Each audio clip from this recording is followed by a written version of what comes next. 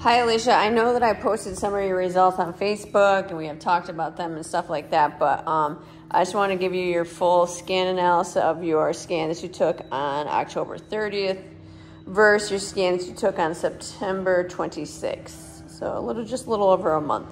So your water uh, was actually the exact same, which is good. And then your lean body mass, your dry lean mass was up 0.3 pounds, which is great. We, you know, I know that you have an abundance of muscle, but you're maintaining your muscle and or increasing it in any way, shape, or form is exactly what we want while you lost 4.4 pounds of body fat. So again, you just average, you're averaging about a pound and a quarter of body fat loss a week, which is really good.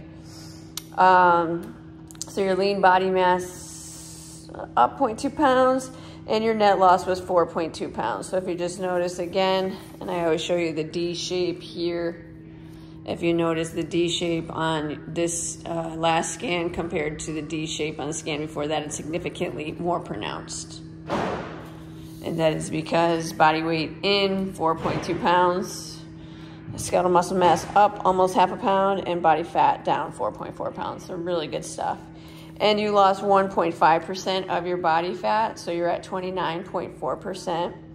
And average for women is 18 to 28%, so you're 1.4% away from that, which is amazing.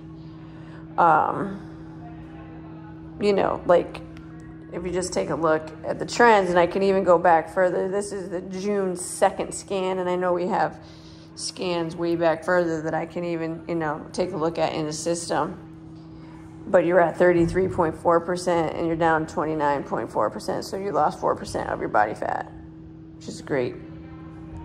In terms of your uh, increases in your strength, you gained, you know, not significant, but 0.3% increase in your right arm ability to support your body weight, 1.8% in your left arm, 0.1%, which isn't, uh, hold on a second.